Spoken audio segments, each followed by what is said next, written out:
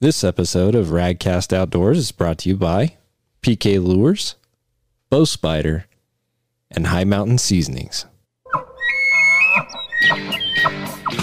Fish on! Hey, Radcast is on. Hunting, fishing, and everything in between. This is Radcast Outdoor. Here are David Merrill and Patrick Edwards. And welcome to another episode of Radcast Outdoors. I'm your host today, Patrick Edwards, and I don't have my co host, David Merrill, because he's at an archery shoot competition in Montana. But I have a very special guest co host who you might remember.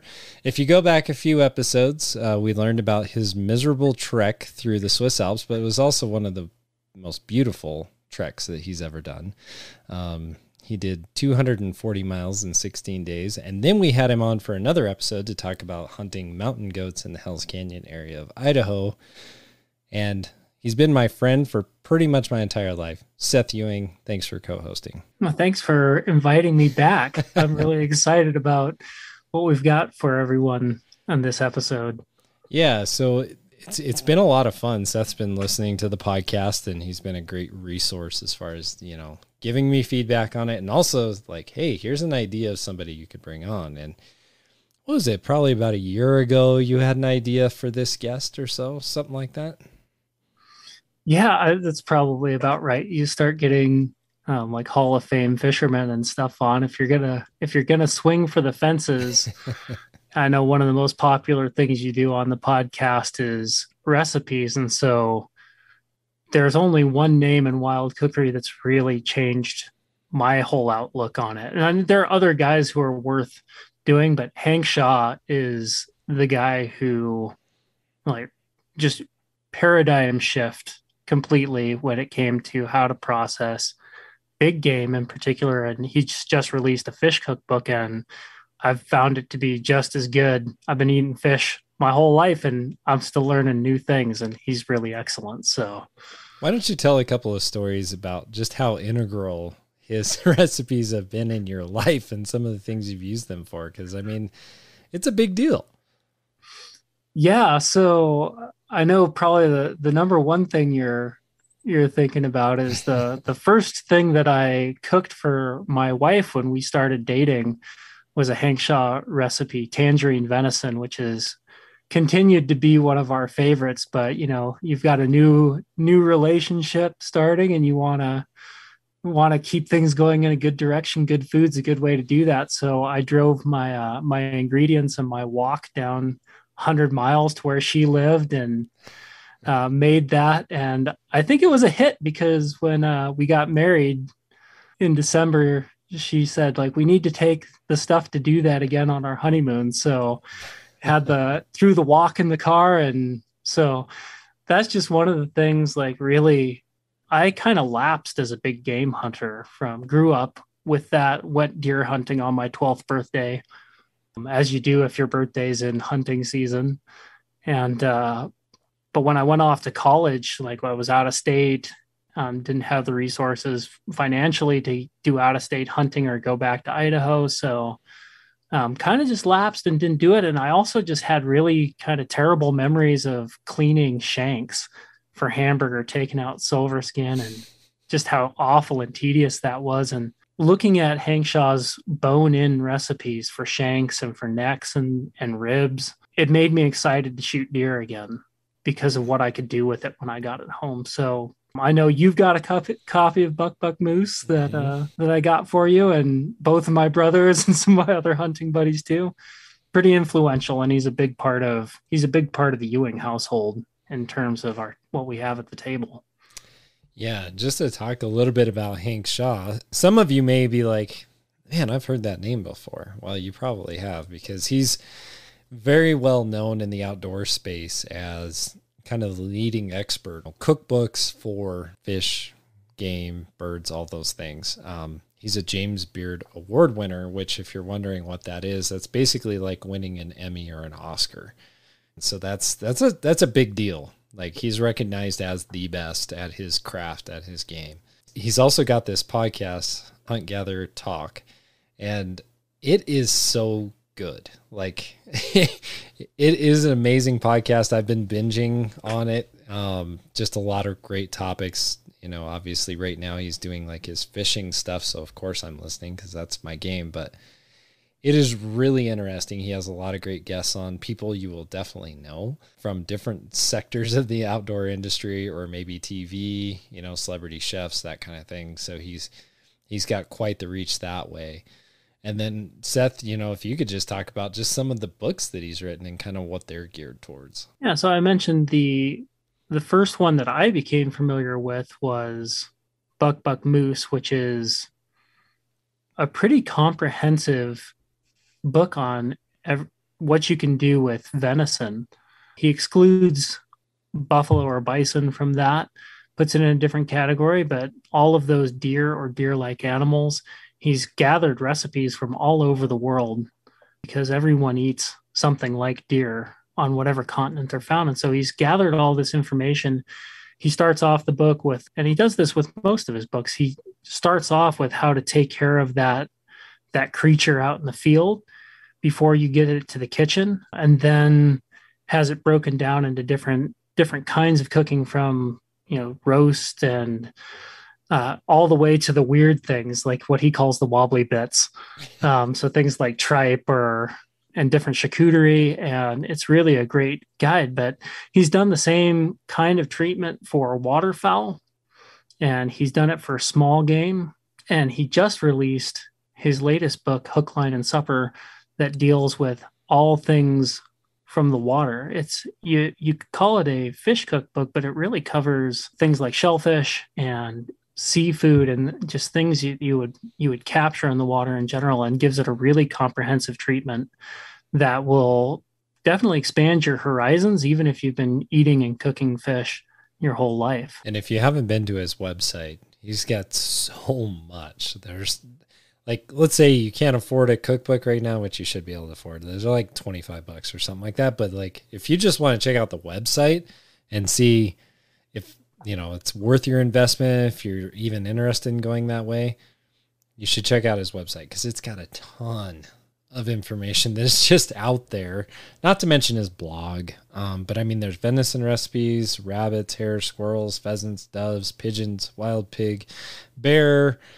and all kinds of fishing charcuterie Wild ed- wild edibles. yeah, gathering. So like mushrooms and all these other things, wild greens and herbs, acorns, nuts, starches.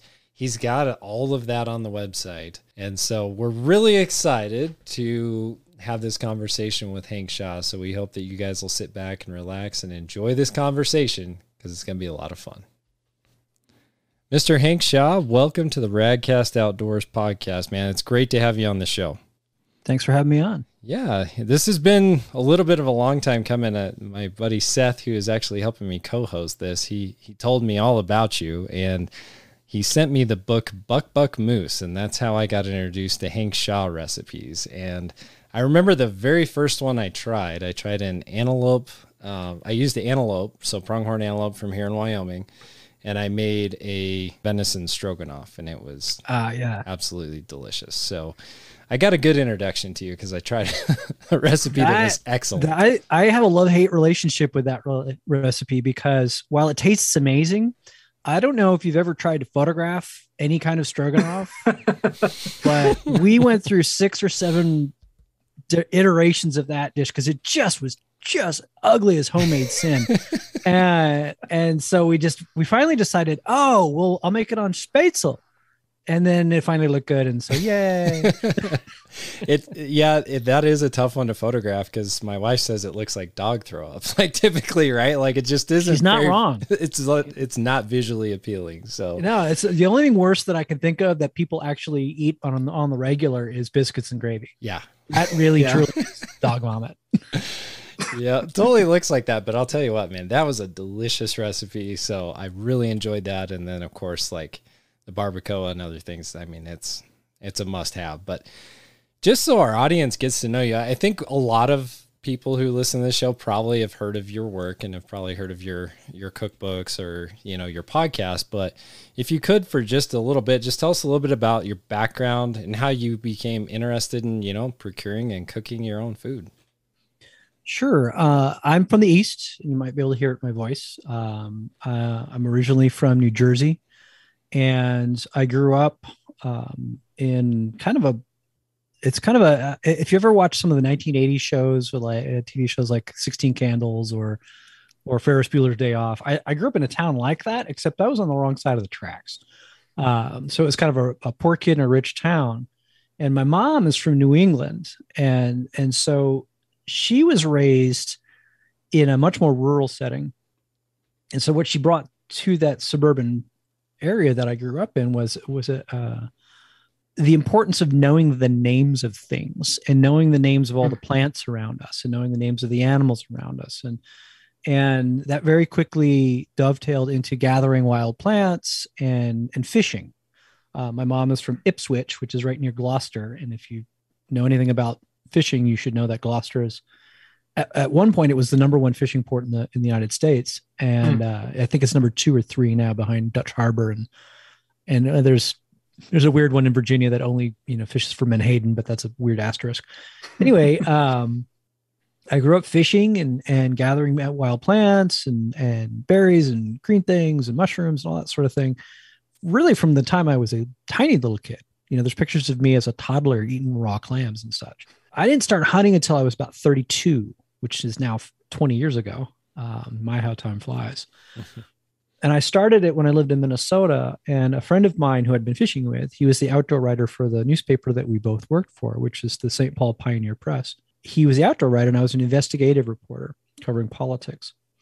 And and so uh, hunting seasons came around. He's like, "Yeah, man, we should go hunting." I'm like, oh, "You know, maybe." so it was a pheasant hunt in South Dakota, and and I had never shot a shotgun before. And so before we went out in the field, he threw up a whole bunch of milk jugs. And when I finally hit one with an over and under, he's like, "All right, that's good." and needless to say, I didn't hit anything on that trip. But what was really interesting to me was uh, his ability to read land the way I could read water. Um, I'm, I'm mostly a saltwater fisherman. And so you need to know things about like underground structure, underwater structure and tides and seasonality and and where the what, what the weather is doing somewhere else because it can affect where you are now. And there's there's lots and lots and lots of things involved in fishing, both freshwater and salt, that have nothing to do with a rod and reel. And hunting is the exact same way. And it was those sort of intangibles that really attracted me to hunting and I mean, not for nothing though, he had he had uh, he'd buttered me up with by giving me things like pheasants and duck and and venison, and you know I knew how to cook these things because I was a chef. You know, I had graduated from high school, and then in college I started to work in kitchens, and I graduated to be kind of a low level chef. You know, I'm, I, I never was like a chef de cuisine, and I never owned my own restaurant or anything, but but I I've I've got the pirate stories from from the to the back of the house and and so I did that for a while. So I'm I, I, am trained as a chef, and I know what to do, and and I've eaten a lot of good food in my life. My parents, I so I'm the last of four, and my mom and my stepdad really liked good food, and so when you only have the one kid, you could take the kid, especially if the kid likes good food, to fancy restaurants. And and like I said, I grew up in New Jersey, but I grew up in the part of New Jersey that's real close to New York, so I got to eat in some of the finest restaurants in New York when I was a little kid. So for me, venison and duck and and pheasant and quail and all of these things were high end deals. Mm. Like this is not poverty food. Like if you say venison, I'm like, oh sweet, we're gonna have it like steak Diane, or we're you say duck, we're gonna duck l'orange, or, or and so there's uh, my in my mind, game had always been associated with high class lo and behold, apparently that's not true for everybody. no. And and so when I finally got around to to actually writing about you know sort of my, the the career that I'm in right now, I was like I said, I was a political reporter for 18 years. And I, I started writing about food in general and wild food in specific as a way to stay sane because mm. even even when I was still doing it, which is now I've been out of the game since 2008 thank God. Um, but even in 2008, things were pretty ugly, and they're just even more ugly right now. I'll put it this way: I got into that that profession because politics used to be about the art of compromise. It used to be about debate, and it used to be about how to get things done with people from differing backgrounds. Well, that that's no longer the case and hasn't been for quite some time. So when you have people who are very extreme on both sides of the ideological spectrum, they tend to just shout past each other. And if you're a journalist, it really doesn't matter what your politics are. That's boring because it's basically two sides saying you're a poopy head, no, you're a poopy head, and like, uh, you know, give me a break. This is terrible. I don't want to do this job anymore. So I started to write about food, and I very quickly came to the conclusion that the thing I was best writing about was wild foods. So I started Hunter Angler Gardener Cook in 2007. And that website has been going strong since 2007 and it's now the the number one website in the world for wild food recipes. Uh, there's more than 1500 recipes on it and and it does well. It does well. It's the kind of the core of what I do. And that's, you know, that's huntgathercook.com is probably the easiest way to get to it. But but that is the founda- foundation of, of everything that comes out of it. And so, you know, I've got five cookbooks and I've got a podcast and da da da da. Well, it's interesting um, to hear that because we were very curious about that part of how did that transition from just gathering things to writing about it because I've grown up around people who, you know, did all of those kinds of activities like picked morels or went fishing but I don't know anyone who writes about it. So that's that's really interesting to hear about. That's a very different skill set for sure. I'm just curious, like as I've looked at some of your you know, like earlier writings, like uh, Duck Duck Goose, up to your current cookbook, because you're also not just doing the the website, you've also got these books. How how do you feel like you've grown as a as a writer or communicating? You know, you grew up or you have that background as a professional working in kitchens and you're communicating to people like me who are that's not my background that's not what i do you know so i'm curious how have you evolved um, how would you see that you've evolved i think the the fact of being a newspaper reporter really really really helps because uh, when I covered politics, I made certain that I had two editors. One editor was a political insider, and the other editor could not care. So when I would write a story, it was important to be interesting to the editor who was a political insider, but understandable to the person who couldn't care less. And and so that skill of being clear and being fast, by the way, uh, there are times where I've had to write three stories in one day. To be clear and to be concise and to be quick and to largely be error free is an extremely important skill really in any kind of writing but it's especially so with writing about recipes for wild food. And here's why. How many times have either you guys or anybody out there listening sent a text message where what you write is not what that person read Yeah. Yeah, it happens. right? So, I mean, there's a lot of explaining to do after those texts. And now imagine that I have a recipe for, oh, let's take a good one. Let's take like moose tenderloin, right? So here's a here's one of the crowning pieces of meat in the entire wild game world. And if my recipe, what I write is not what you read in that recipe, and and and you follow my directions and you ruin your moose tenderloin, you can't go down to the supermarket and get another moose tenderloin. I've just hosed you for what is probably the only well, you might, you might have one other, but the only moose tenderloin you're ever going to get because it's typically a once in a lifetime tag. And Yeah. so I live in constant fear of someone like I here's the best example ever. I get these, I get something to this degree all the time, but this is the best one. About a year ago, it was during COVID, no, about a year and a half. So it was it was in 2020.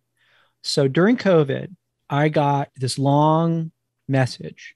And the, the writer was really clever because they, they, you know, she buried the lead. So she had me going for good six or seven graphs Her husband died of COVID. And her husband, as he was dying of of COVID, this is this is kind of later in 2020 where where not everybody was stuck in a hospital and you could see each other. Mhm. Um, he's essentially his last meal. It wasn't his actual last meal, but it was his last meal that he he was sort of conscious for. Was one of my recipes. And and thanks be to all that is holy, it worked. Could you imagine? Like, I would, I would never, ever, ever be able to live with myself. Like, yeah, you know, my husband who died of COVID, I made him your recipe for X, and it sucked. So he died unhappy. I'm like, whoa, no pressure. right. so Yikes. yeah, so it's so uh, that's a long way of saying uh, I take both. I take my job as a recipe writer very seriously, but especially in the books, because the books are static in the way that there are many people who buy my books who are not very uh, who are not aware that I'm on social media and not aware that I have a website. So what I say in the book is is iron in that case, where lots of people know like they'll find me on Instagram or or my website and they'll be like, hey, um, when you do this, do you mean that? And here's a good, another good example because you in- before we got on the air, you'd mentioned my barbacoa recipe. hmm I don't know how much more clear I can be. In the recipe uh, for that, and you guys are laughing because I you know exactly where I'm going on this one. So I I don't know how much more clear I can be. This recipe calls for one or two canned chipotles. if I had a dollar for every time someone misread that as cans of chipotles, I could eat at the French one. That's so funny because my we just we actually just made that recipe um and I wasn't in charge of putting it together before work so we could have it for dinner and my wife and I had that conversation. it's like how do we have enough for this? It's like it's not even the whole can. It's just a couple of them. It's like so Now- we avoided the uh I probably would have liked it with more chilies, but she would not have. So, so many people are like, it's really good, but it's so hot. Spicy. I'm like, it's not supposed to be hot. Uh, no, it's that's really funny. that is funny. This portion of the podcast is brought to you by Hi Mountain Seasonings. It's that time of year. If you're fishing, you're out in the field, you're catching a lot of fish, and you need some good fish brine to smoke up those trout fillets, you can go to highmountainjerky.com or H I M T N jerky.com. And it's also that time of year to stock up before hunting season. So if you need the absolute best jerky seasoning on the market, you can check out their jerky seasoning kits. They're very easy to do no matter whether you're doing whole muscle meat or ground jerky. They've got everything that you need. If you want to cook fish, like on a pan sear fish or cook duck or pheasant or whatever you're cooking, they have the seasoning for you. So again, go check out our friends at Hi Mountain. You can go to himtnjerky.com and check out all their different options. Now back to the show. You talked about I, I do want to touch on this a little bit. You talked about starting hunting at a much later age than like Seth and I. Seth and I started when we were really little, and uh, we're seeing a lot more of that nowadays, right? Like a lot of people are starting to care more about where their food comes from, and I think you're part of that movement too. You know, where people want to harvest their own meat. You know, whether it's uh, ethical consideration for them or whatever it might be. You know, maybe they just want to make sure that they're getting something clean. That's why I do it. You know, I think it just tastes better and is cleaner. But um, can you talk about you know just kind of what factored into being that long? Like, did you just not have other opportunities? Were you not interested, or what? What was the factor there? Yeah, I'm kind of the OG adult onset hunter. Like, because I came when I started doing this, you know, 20 years ago. Um, nobody was like I was. I was absolutely a unicorn. I was like a unicorn Mhm. wearing a skirt, rollerblading through Harlem. Like, like Yeah. was like- I was the weirdest thing on the planet, and everybody's like, "What are you doing?" And and hunters were like, "Who are you?" And it was yeah, I was. I knew of literally no one else who had started hunting um, as an actual adult. Like I knew some people who had started in college, but and and so I kind of blundered my way through it. But the reason I did it was, and you mentioned a little bit of it. You know, I'm not a monk. If we go to a restaurant, I'm going to eat stuff, but I wanted to reduce my footprint in terms of my interaction with factory farms as much as possible. Mm. And so, to that end, I started, you know, working around the edges, but not very far after. You know, so I started 2001, 2002 ish. By 2005, I stopped buying meat. and I haven't bought meat or fish for the household more than a handful of times since then. Now, I do have a couple weaknesses. Um, I can't make all my own bacon, and I've got a buddy who is a really, really good hog farmer. So I get heritage pork from my friends. I have two friends, one in Ohio and one in Michigan, that, that do really good pork. Uh, so that's that's kind of a big and oh, an octopus. Like I have a, I, I can't live without eating octopus, and um, they're fiendishly difficult to catch. I don't know if you've ever Hmm. tried, but they're like the Harry Houdini of creatures, and so like they're hard to catch. So I buy them, but that's about it. And and so that was a piece of it, but really, you know, again, swinging back to the fact that I always viewed this, these as luxury items. Um, it's like the flavor, man.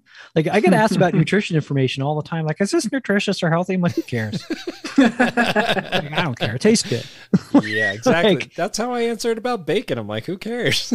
well, yeah, and you know, I'm, you know, I've my blood, lo- my blood work always comes out good, and I'm not overweight, and so like I, I'm no. I mean, here's the thing: like a, a really good friend of mine's mom notes that fat doesn't make you fat. Eating too much makes you fat. so That's if you true. eat fatty things, eat less. It's not that hard, folks. yeah, absolutely. Oh, Go and then work, I got go another work buddy it off looking for boletes in the mountains. um, or that funny story about that. So another one of my friends, everyone calls her Butter. That's not her name. She wasn't, you know, it doesn't say Butter on her license plate. But Everyone but- loves butter though, so it sounds promising. So so she lives in, in the Rockies, and every summer you get your monsoon rains, hopefully.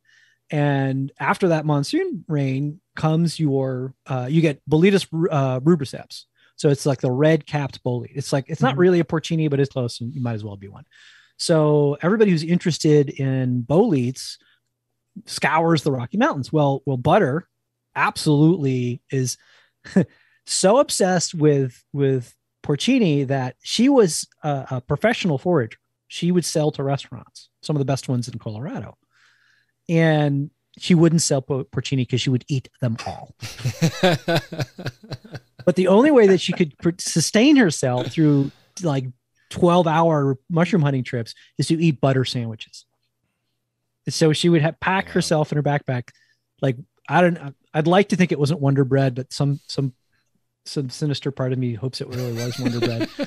And like Wonder Bread with like a stick of butter wrapped around it and just like, needed the needed the fat, man. You got to have it.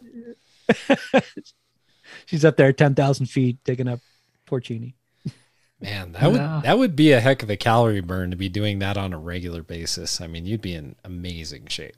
Well, I mean, you know, I mean, I don't know if you guys pick mushrooms in the Rockies, but but it doesn't last long up there.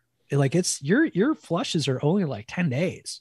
So like you're using every one of those 10 days. It's like a short gun season for deer.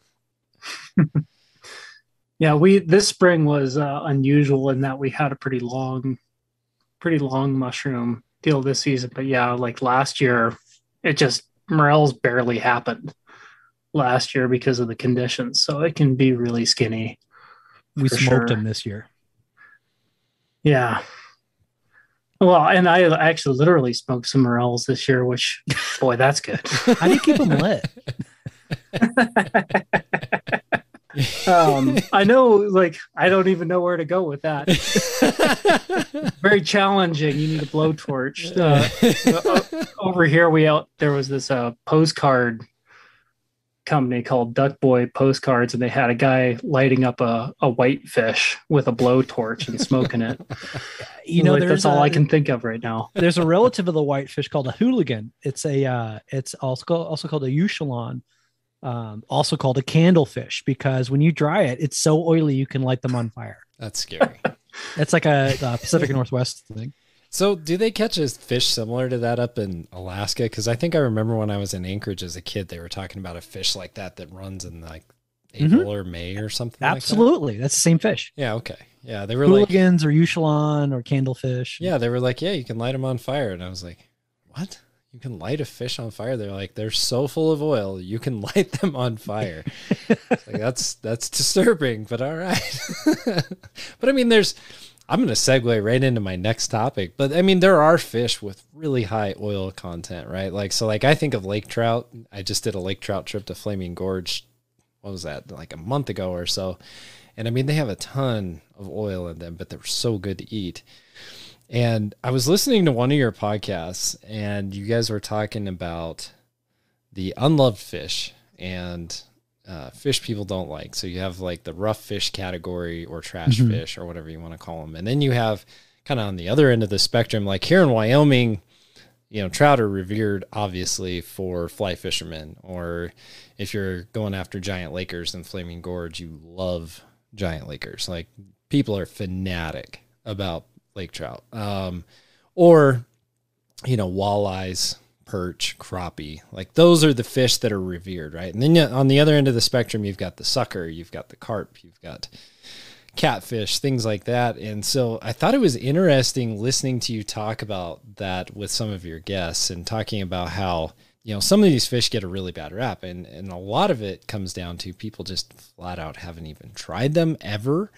And um, I know I did an experiment a couple of years back. Seth will remember me telling this story and remember this pretty well. But I actually had caught a carp while I was walleye fishing, and I had looked up, you know, which portions I could take out that didn't have a whole bunch of bones in them, and I could make them in a similar way because I wanted to. I really wanted to test it out because I hadn't tried it either. I was like, I want to try this and see if it's any good.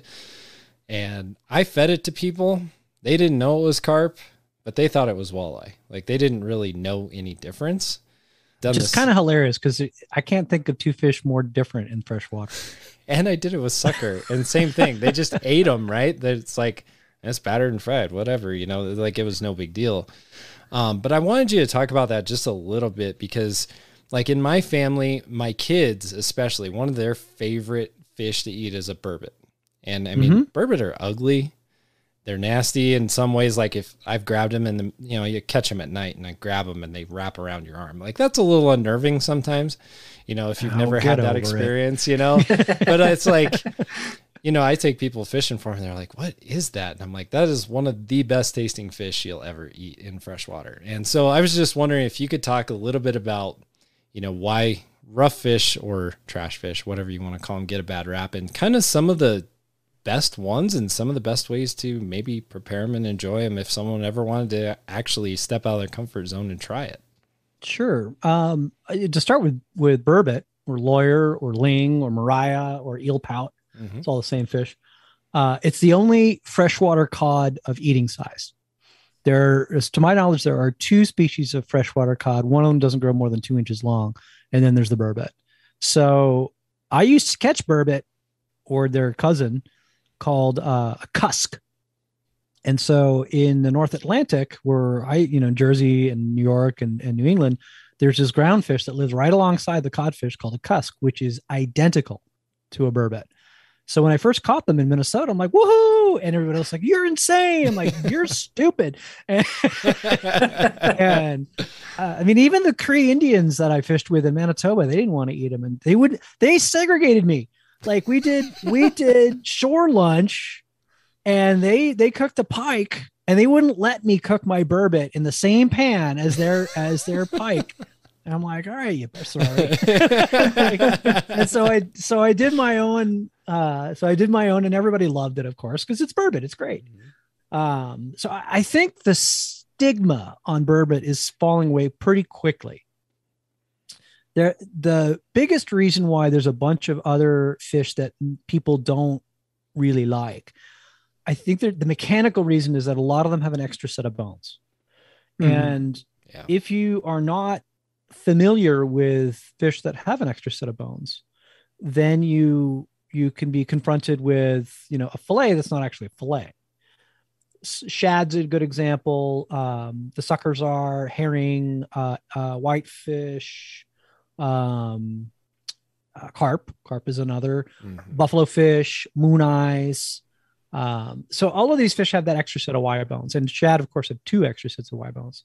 The old the old native uh, story about shad is that shad used to be a porcupine, and he was a disgruntled porcupine. He was he was a porcupine who just really deeply didn't like his life, and so he was whining and moaning and moaning and whining. Finally, the Great Spirit was like, "All right, enough of this." Turned him inside out and made him a fish. And he says, "Are you happy now?" And he said, "Yes, I'm a shad." I like that. so think that might have happened with some carp too. Um, but even then, they're not. They're not. They might have been hedgehogs because they're not quite as, as bony as shad.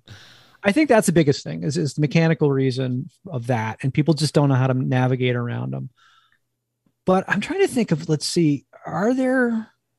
Oh yeah, there's a another another fish that nobody likes is uh is the freshwater drum, the sheep's head, right. and that fish gets hated on all the time. And there's no extra bones in that, and I don't understand that at all. Like, I think I do I, it's in the, same sense that people hate antelope. Well, it's the teeth too. Like I Oh, think come on. I think it's the kisser on them. Like the the guys who've been catching trout and walleye, they're like, oh, this this fish has some funny looking mouth. You know, like I think there is some of that because They're like fish racists. Like, something, come right? guys. I know, but like to your point though, like drum are, I mean, they're more oily, but they are really Yeah. good to eat. Like they're excellent fish. I, I what's love so them funny- because they're oily because you can smoke them. What's so funny about drum to me is uh, my family moved from southeastern Wyoming up to on the Missouri River and in Montana, and no one told us that they weren't good to eat. So we didn't know any better, and just we catch them and eat them. like they're great. Exactly. I mean, so nowhere, nowhere are any drum of any any species of drum hated on except in the Midwest to Upper Midwest. I mean, I just I just spent a fair amount of money on a charter chasing the world's largest drum in Southern California, the California white sea bass. It's it's in the drum family, and I caught uh, something around a 41, 42 pounder, which is a big, it's a big sea bass hmm and and you know like they're amazing and i've i've i've tried to catch this fish for years and i finally caught one and everyone's like yay and, and you go to the gulf of mexico and like there's all kinds of drum and everyone's like yay you go to louisiana and even freshwater drum is like yay but as soon as you get to st louis they're like oh this is trash like i don't get it I don't get it either. Like, I don't know if it's again. I don't know if it's just a certain look to a fish, or you know, you. I think it's this. So, like antelope, antelope and, and freshwater drum go bad in a hurry. Mm. So, if you're if you don't have best practices on your boat or on the shore, and you catch a freshwater drum, the meat will be mushy. So, I have always always caught a fish, either stuck my finger in his gills and popped the gills, or or or cut him with a knife and thrown him in some water and let him bleed out, and then I'll put him on ice since I was like, I don't know, 10 years old. And and so if you do that, they're perfectly good. But if you let a drum get warm after it's dead, it will get mushy. I mean, it's just, it's the same thing with antelope. People will be like, well, antelope's terrible. well, usually the way that the traditional antelope hunt is like, okay, the three of us are antelope hunting, right? So Seth shoots his antelope first light, drills it. Then about an hour later, you know, you, Pat, you shoot one. Perfect. I can't buy an antelope. And it's like, I don't know, four, five, six hours later. It's like two o'clock in the afternoon. I finally get my antelope. Okay, now we start gutting all three of them. So mine's fine. Yours are Mhm. terrible. yeah, ours you don't even want to feed to the dog. But that's, I mean, I, I that's how people traditionally hunt them. Hopefully that's Yeah. changing, but but I've seen that scenario over and over again, and people wonder why they're gross. yeah, we've on our show we've really tried to change that because like uh, like I told you on our like introductory calls, like man, you shoot them in ninety degree heat, right? Right. Like it's hot, and if you don't get that puppy on ice quick, it just it just tastes disgusting. It's just it's super gamey, I guess is what you'd say, but mm-hmm. like it just gets this foul taste because it's starting that decomposition. It's getting gross, like really quick. And and I'm glad you brought that point up about fish too. Like, what are some best practices? Like, if I if I catch a fish, whether it's a freshwater drum, a walleye, a trout, doesn't matter. What's the best practice that every angler should know if they're going to take them home and eat them?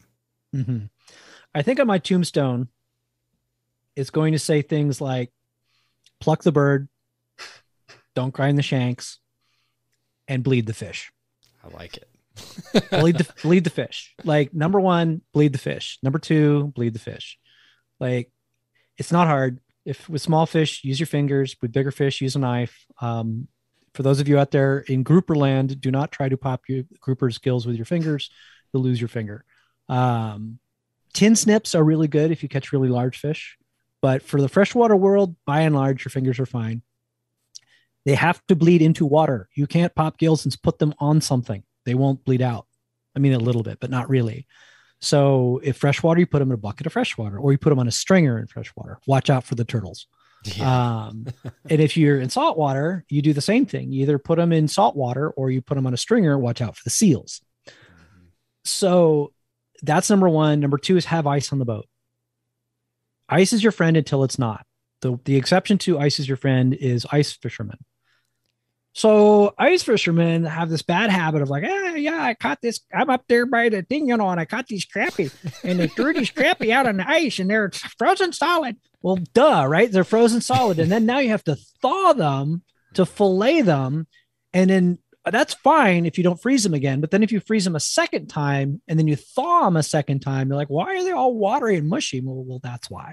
yeah. So that's a terrible idea. Like if if, if you're catching more fish on the ice than you think you can catch before you have to freeze them, don't let them freeze that first time. It's not that hard. Mhm. You're in an ice shack, or and if you're not in an ice shack, you should be in an ice shack. Yeah. and- No, and like you mentioned, like obviously, I think your best case scenario there is if you've got a boat and your boat is carrying your cooler of ice or whatever. Like, um, I've done a lot of my fishing roving around streams and rivers and Mhm. things. You can still Um, bleed them and put them on a stringer. Yeah, is that because I? It's funny. My family and Pat's too. I know we were all really fanatical about how we cared for our red meat, um, keeping it clean, keeping it cold. But we were totally guilty of that, having the trout on a forked stick. I think uh, when you wr- when you wrote about it, just putting the analogy of saying that's like shooting a deer on a 130 degree day and not cleaning it. It's like, oh, we weren't very careful with our trout. I mean, why they you- that's why they were nasty. sometimes you can get away with it. Like, I mean, it's cold in Wyoming sometimes. So, I mean, if it's 50 degrees out, yeah, I mean, you can probably get away with it a little bit. But if you're fishing, I mean, I've seen people fish in Wyoming when it's 85, 95 degrees out. Yeah, it's you. If, if it was me, I'd want an ice cold beer anyway. So, so you bleed a fish, put it on a string. Here's what you do: you get one of those. So, okay, I'm going to preface this by saying Yeti doesn't pay me, um, but Yeti makes this this awesome uh, cooler backpack, and I'm sure some other companies make cooler backpacks, uh, but I have one from Yeti, and so put your you know you catch your trout, bleed your trout, put it on the stringer. Okay, it's blood out. Well, you've got your you should have your Yeti backpack full of ice and beer. So put the fish in and take a beer out, and then just keep Yeah. going back and forth until there's only fish. there you go. I mean, that's all you got to do, right? You just rotate them. We used to do that with crabs in Long Island. So like we'd be crabbing off the dock and we'd have a case of beer in the cooler. And I can I can assure you by midday when there's more crabs than beer in the cooler, getting those last 12 beers was extremely difficult. there's, there's just three or four dozen angry blue crabs trying to get you. Yeah, I'll bet that would be a little sporty, uh, sticking your hand in there. But yeah, I I think you know Seth talked about it. You know, when we were younger, we would we would catch fish, throw them on the stringer, and not think twice about it until we got them home to to clean them and do whatever. And I know about I don't know, maybe it was seven or eight years ago. I read a article in In-Fisherman by Doug Stange, and he was talking about bleeding fish and just the difference in the quality of your fish, and then of course icing your fish too. And I caught some suckers um, a few years ago, and I actually tested that theory on. I mean, these were some pretty good sized white suckers, and some of them were bled, some of them weren't. And then I, you know, filleted off the fillets just to look at the meat and see the difference. And there's clearly a difference between the ones that day. are bled and the ones that aren't. And people are like, no, no, there's not. And I, I took a picture. I'm like, uh, yeah, there is. Look at this. Like, it's totally different looking meat. Like, one was really pink in color, one was more light in color. Yep. And and and your your cutting board's all bloody. Like I did Mhm. this, I did this exact same test with uh sheep's head in the Gulf of Mexico. And they're kind of a porgy. And so they're a white fish. So m- more fishermen get the idea of uh, bleeding things like trout or salmon or tuna or jacks or mackerel or bluefish. They, they kind of understand that a little bit more because they're they're not a, a, a flaky white fish.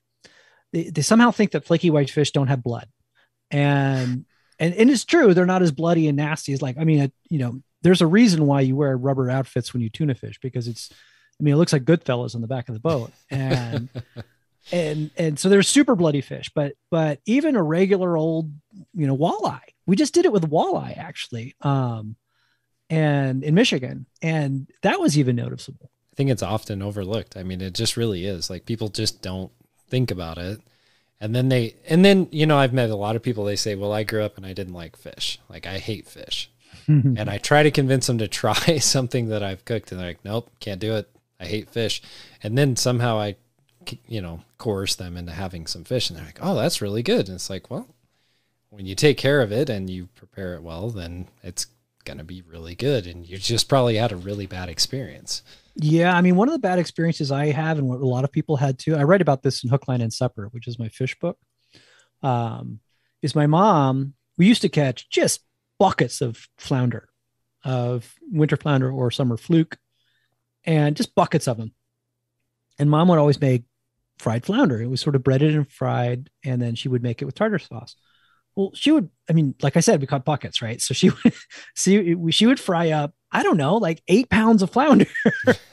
and and when she was done, everyone would would you know stab each other to get the the four or five ones that are on top, because the ones on the bottom are absolutely disgusting because they've been they're sure they were fried, but now they're like steamed and mushy, and the paper towels all glued to them, and it's, oh, it's the worst.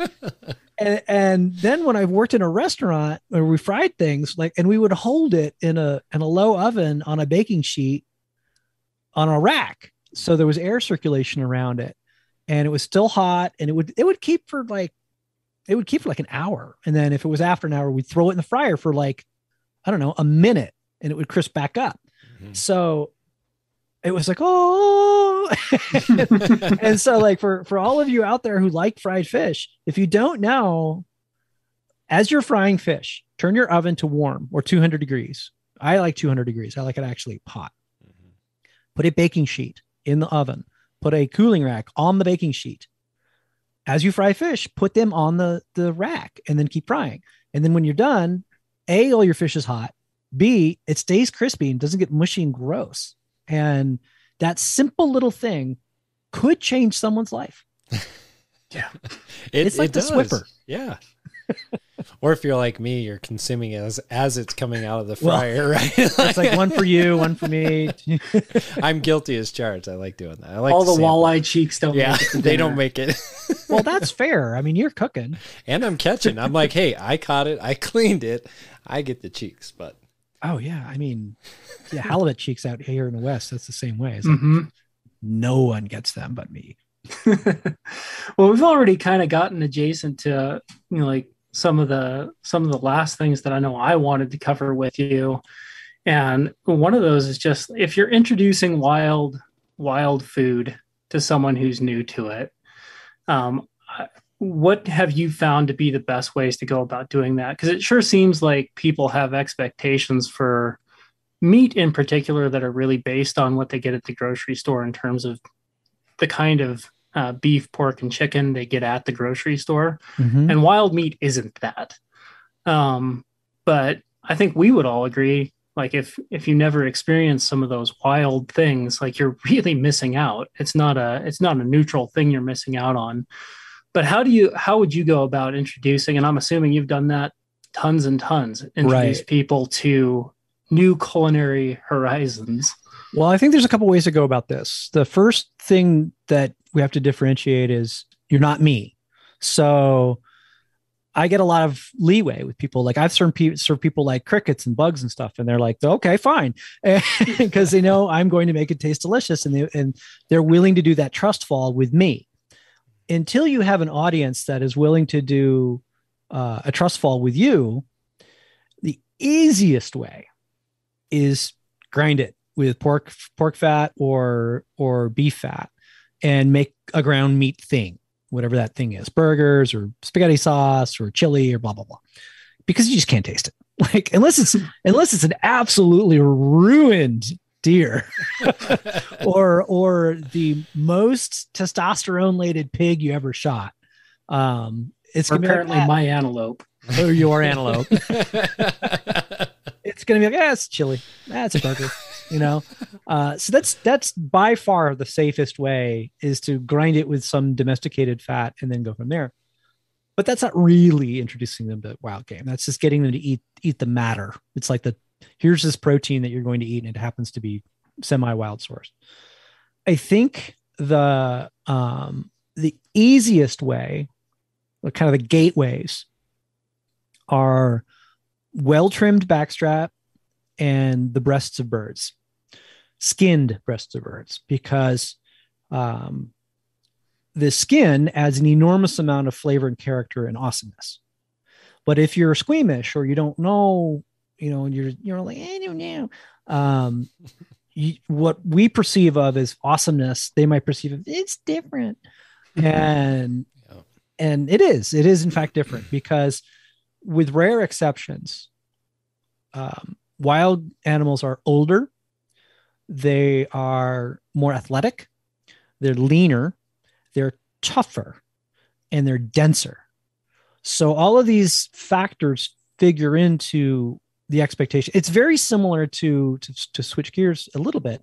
If you've ever out there tried to make wine with the wild grapes that live near you, and you made this wine and you gave it to anyone who drinks normal wine, they were going to squinch their nose up and be like, "It's it's okay." It's terrible, and it's only terrible because you think it's wine from grapes, and technically it is wine from grapes, but it's not really wine. It is a it is a wine made from a wild berry. So it's almost better to just not call it wine, just to call it something else. Give it a name like, you know, you know, purple junkadoo and and serve it to them and they're like, oh, junkadoo is amazing. Uh, but if you call it red wine, they're gonna be like, this is disgusting. So it's expectation. So if Mhm. you serve uh say a skin on a great example would be a skin on canvas back duck. A skin on canvas back duck is one of the greatest things you're ever going to eat in the wild game world. It's amazing. But it tastes like a wild duck in a good way.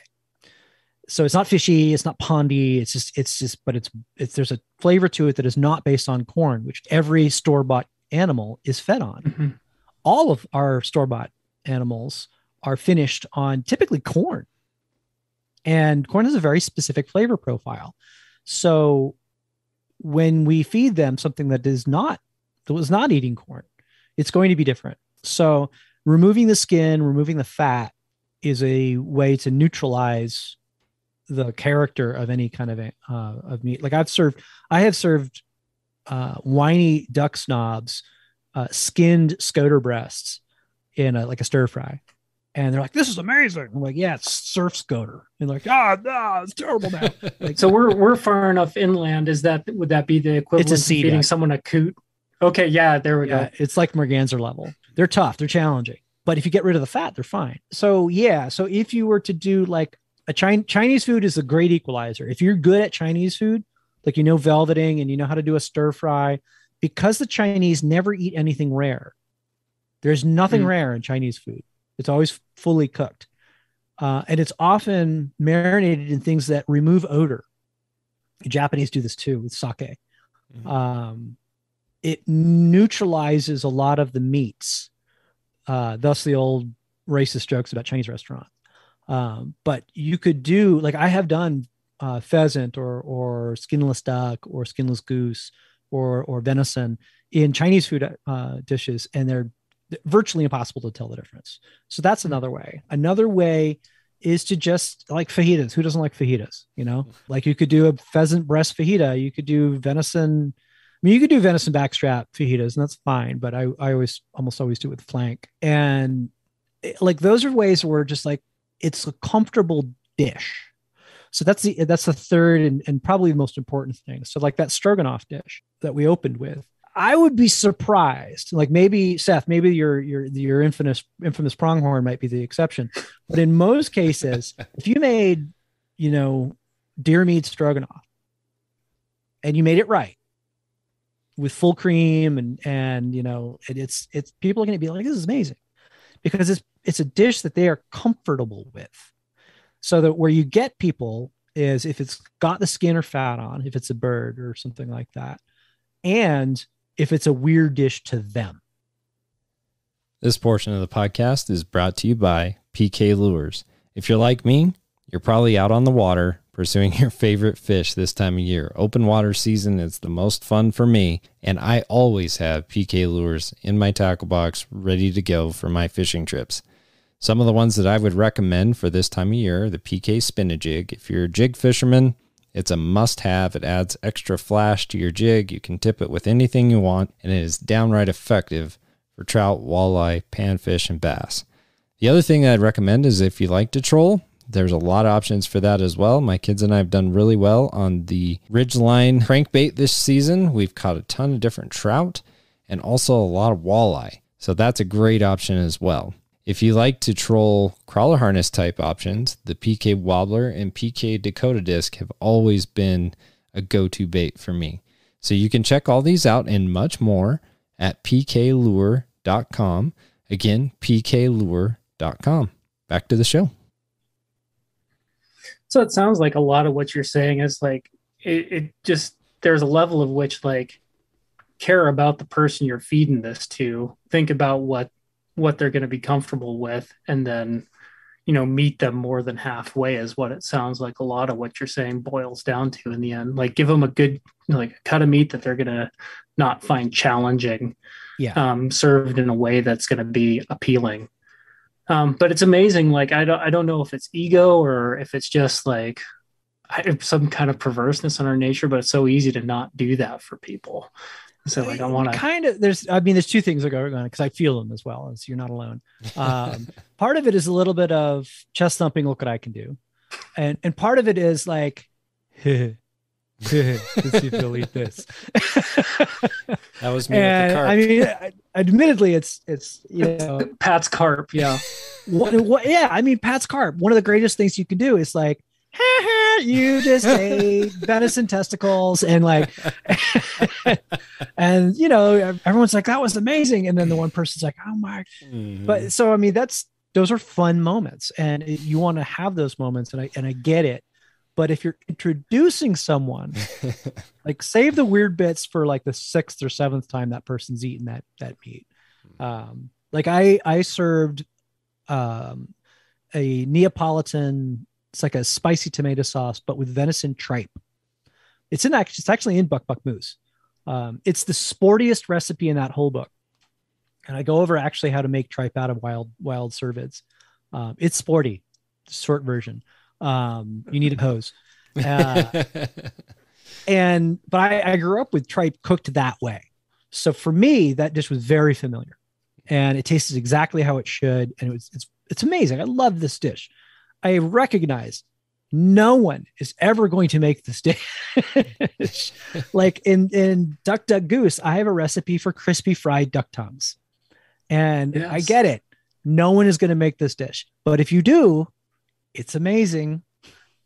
The problem with me, I want that's one I've actually really wanted to try just because of how weird it is, but I don't get enough ducks to make that worth worth doing. you do need to whack a few dozen ducks every year like and they got to be decent ducks too like so we really only use the tongues from like gadwall on up but Yeah, you're in like kind of that mallard green country, wings. so you're in Ma- and you're mallard country so your mallards will be fine and of course Yeah. canada geese would be too Mhm. Oh yeah. So I I know we're kind of getting to the point where we could talk to you all night. I think, but I Pat was telling me he had talked to you a little bit about the fact that you had foraged and gotten to, you know, go after things with feathers and fins and you know big game all over the place. I wondered what would you say are some of the like for our area, kind of that Rockies, the Intermountain West. What are some of the most um, underutilized or kind of forgotten about wild things you can eat? And I'm thinking kind of critters and plants. Like, what are some of the things that people should really keep an eye out for or, try? Um, and what are some of the things you might do with those? You know, kind of thinking that Idaho, Wyoming, Colorado. well i think Um, the first thing that springs to mind are the abert squirrels in colorado so they're the squirrels that look like batman um, and you can hunt them. There's a season in in in Colorado, and they're delicious. They're an amazing squirrel. Um, I think it's hard because the hunting culture in that region is so strong. There's not a lot of, you know, looked down on species. I mean, I know for every time everything that comes to mind, and like, oh, I know 15 guys that hunt that, like like sage grouse or blue grouse or Mhm. or snowshoe hares or or truckers or um so I, I don't it's hard to really say that those are underutilized i think if you go to the the fish realm you have whitefish in some of these high lakes Mhm. and whitefish is is one of the best fish in america to smoke So good. and and it's there are vanishingly few freshwater fish that are worthy of this good smoke because they're just so lean but the whitefish is one of them lakers are another i don't really count lakers as intermountain west because they're not from there but they live there so that's fine so you, by the way you mentioned at the beginning of this podcast that some fish with lots of flat fat in them Mhm. there's a particular it's called a siscowet and is a particular subspecies of lake trout that lives only in lake superior that can be 50% fat by weight It's just Jeez. insane. it's like a barrel of oil don't Wow. grill it yeah, you'll start a fire in your grill for sure. Holy smokes. uh plant wise i think yampa yampa would be my number one thing that like very few people know about yampa it's uh there's a bunch of species but it is a it's it's in the carrot family so you got to know your stuff um the carrot family by the way um carrot family is like amanitas with mushrooms so some of the Okay. greatest mushrooms to eat in in the world are amanitas also some of the most deadly mushrooms in the world are amanitas. Same thing with the carrot family which is the parsley carrot dill fennel that kind of thing. Um, yampa's in that family and so it's very easy to identify. It's not a very big plant and it grows in huge clumps and underneath the ground are um, uh, is a tuber and the tuber is about maybe a really big one would be the size of your pinky but usually they're the size of like you know one and a half two digits of your finger and they are amazing. They're amazing. They're carrot like and they're delicious. So that would be one. People know about porcini quite a bit so i don't think that's really underutilized. And morels of course. I think i mean there's so many wild edible plants but i'm trying to think of like special rocky mountain ones. Well, and I, and I think too, like just the focus of like none. It's like awesome to get native species, but obviously, like one that's really underutilized here is not a native. Is the like just carp. Um, Sure. We did. We smoked up some carp and did the Vietnamese smoked fish salad. That Oh, you yeah. had. I've been looking for years for something that I would enjoy carp in, just where it wasn't a pain picking around the crazy bones and everything. And I like I found it. That was it was am- it was amazing. So you know, yam uh, yampas. You said Yeah, Y A M P A. So that's a good one. You guys have a really cool sweet cicely in the Rocky Mountains. There- There's four different species, and the sweet cicely sounds like a country singer. Um, but sweet cicely is a very small woodland plant that what you really want to get are the the green seedlets, and you get them in like May and June. It's very it sits seeds very early, but they taste like like a licorice bomb. Like Hmm. you can walk through the woods in like Utah and Colorado and Wyoming, and then you'll see it and you pick it and you just chew on it. And it's like it's like eating breath mints. So it's really super cool. I mean, a lot of people know about the currants that grow there. There's some really excellent Rocky Mountain currants. Yep. Pine nuts, pine nuts. This is the south part of the Rockies. Like, Mhm. so there are there's two pine nuts. There's Pinus monophylla and then there's Pinus edulis. And so Pinus monophylla is my that's my local pine, good pine nut, and and that it goes from California to Idaho, and then Edulis, which is the typical pine nut that you'd see with the Navajo. Um, that one's a bit more south, but it does get into Colorado. So uh, I don't believe either live in Wyoming. So you guys are out of luck, but but the greater region has quite a bit of them. Uh, oh, and when you get to the plums, uh, the sand plums, there's just buckets of sand plums once you get out of the actual mountains and into the the, the front range. I'm I'm not even. You know, it's funny. Like I lived in uh, Wyoming, Montana, and Idaho mo- almost my whole life, and I've, I'm not even familiar with that plant. I just like I, I'm gonna have to look it up. there are a bunch of really good Rocky Mountain foraging and edible wild plants guides, and I, you know, I, I, I'm looking at my library right now, and I probably have, I don't know, 100, 120 different edible wild plants books, and I think I've got a good half dozen to eight that are just about the Intermountain West. So people, there's the data's out there, and one of the cool things that if you really want to do and get into this stuff, um, look up the ethnobotanies of the indigenous groups from your region. So clearly, there were lots of people here before Europeans showed up. Mm-hmm. So, in the starting about the late 1800s and all throughout the 1900s, the, the scientists would try to figure out, well, okay, how did this group or that group use all the edible plants uh, in their area? And so they cataloged all of them. So they there are these great, great books about the Paiutes and the Shoshones and, and the Flatheads and all that kind of stuff. And and like they would use all of these plants in X amount of ways. Well, they've been there a minimum of 14,000 years, or at least if not they have, somebody's been there. And and whoever because mm-hmm. you know, different native groups did move. So but somebody's been there for quite a long time. So they have a lot of knowledge built up on what's good and what's not. And so that you can learn a lot by listening to the natives. Yeah, there's a so we have the Wind River Indian Reservation here in the Eastern Shoshone. There's a elder there that I was talking to, and he was telling me how they utilize choke cherries because choke cherries are extremely plentiful here and on this side of the Wind River Range. And he was talking about that and how they would take it and they would basically grind it into kind of like a paste and then dry mm-hmm. it and then eat it, you know, and they yeah. would they would also take like animal fat and add to it and just different things. It was really interesting. I was like, oh, that makes sense. Like it's That's it's basic. Pemmican. Well, yeah, it's it's pemmican. It's like it's kind of like our modern day, you know, energy bars kind of uh, concept. I mean, you're just basically grinding up this this berry and then adding some protein fat elements to it and consuming it, and it's really good for you. But I did want to circle back to something you talked about because you talked about whitefish. And I smoked some whitefish a couple of years ago and some grayling, and I swear it was the best smoked fish I've ever had. Like it was really, really good. And I had people that were just trolling me about it. They said, "Oh, I can't believe you would eat something like that. Like, what are you thinking? Like those those are nasty fish." And I was like, "Man, what are you talking about? This was some of the best smoked fish I've ever had." And, and they thought I was crazy. So they do have a different flavor profile and it's it is a it's just a little bit different, right? It's not just like your basic rainbow trout or salmon. But can you talk a little bit about the difference and maybe the difference in flavor? I mean, it's just I'm shaking my head over here because you know if you grew up where I grew up in the Northeast, smoked whitefish is in every Jewish deli from you know Boston to to DC, and like I a breakfast or a lunch that I would frequently have in junior high school and high school. It's like if I was tired of sandwiches or Chinese food or subs, I would walk over to the Jewish deli and buy a whole whitefish, a chub, right? You know, it's about, I don't know, 10, 12 inches long.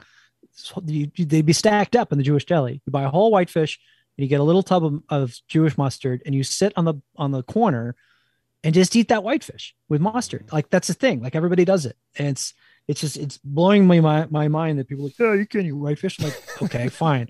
Uh, um, so the reason why we love them so much is because they're oily and greasy and awesome. And so the reason why all the best smoked fish in the world are fatty is because smoke adheres to to fat much better than it does to lean muscle. So which is why smoked pork is better than smoked venison, and, which is why smoked whitefish is better than smoked walleye. Because if you were to smoke walleye, you're either going to make it into jerky, which is fine. I've had I've had lean whitefish jerky, and that's okay. Or you're going to essentially barbecue it over a smoky fire, when then it's not really smoked; it's just kind of slow cooked over. You're going to eat it hot. But if you're going to sit there and like either make it into a dip or eat it while watching, you know, the Packers beat the Vikings. Um, see what I did there? Yeah. Uh, uh, you know, you're going to you're going to sit there and you, you, want to flake it out, and so that's not really going to be very good with a lean mm-hmm. fish. You might convince yourself that it is, but it really isn't. Like a tr- smoked trout beats smoked walleye. Smoked whitefish beats both of them. Oh yeah, it's not even close. Like to me, it my mouth is watering just thinking about having that because it was so like, darn good I just smoked uh, smoked some yellowtail that I got in Southern California, and that's another oily fish. Which is so if you've ever been to a sushi restaurant and and if you're not if you don't live in California, there's no way you've ever heard of yellowtail because it's just a very localized fish. They own you can really only catch them in, in California.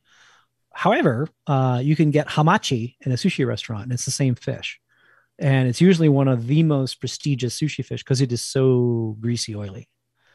And I get it; some people don't like it um, because I don't know. They don't like food, maybe. I mean, it's possible. maybe dietitians. I mean, yeah, it is like there's there's such a world of good stuff, and I think one of the things that I've appreciated about your work um, is just like it encourages uh, what I would maybe term curious eating. Because when you get your hands on a, a Hank Shaw cookbook, you're not looking at you know Italian recipes. You're looking at recipe like buck buck moose. How but you start off, I think, early in the book saying like everyone on the planet eats deer or something like um, it, yeah, or something like it. And so there's all these different ways to do it, and what a cool adventure to get to kind of eat your way around the world, um, doing it with either fish or or big game. It is. I mean, it's it's one of the things that fuels me. It's it also teaches you to be super super humble because it takes years to become even I hesitate to use the word expert, but it takes it takes years to even become competent in somebody else's cuisine because you not only have to be able to do the mechanics of the cuisine, you have to understand why dishes exist and and and what makes a good this versus a, a bad this, and that takes a lot of time. And and so I I I can count on one hand the number of cuisines that I'm you know competent in so when I stretch out, like like for example, when I do Korean food, which is something I don't know a lot about, I test the recipe, I serve it to Koreans, I ask the my Korean. I mean, I'm in California. I mean, I have lots of Korean friends, so like you, you can you give it to the to people of the group who might know that the, oh no that you you messed up this way. so that those are kind of the some of the most fraught uh, recipes in the cookbooks are the ones are the where I know it's a really good recipe, but it's out of my comfort zone as a cook. So those are extra tested so that A, I want to honor the culture. And B, uh, I just mechanically want to get it right so that you can get it right. And I, you know, I also want to make sure that somebody who lives in a small town in Wyoming can make something reasonably kind of sort of like it in their own supermarket. So you have to then figure out what are the, you know, you, you want to be able to tell, make the recipe in this case, how someone in Koreatown in Los Angeles would make it and then you want to give enough substitutes so you have to know the ingredients really well to be able to say well if you can't get this use that and make sure that that is at least reasonably available in a in a local supermarket because not everybody really it's the other thing you learn not everybody has amazon prime. So truly the the universe is available on on amazon now which is kind of a great boon to cooks. But I have a friend who lives in rural Montana, and Prime for her is six days. Yikes! She's kind of out there. Yeah. Yeah. There's... Lived lived lived in that kind of past the edge of nowhere Montana for a while. That's yeah, very true. It's pretty remote. Like a suburb of Jordan.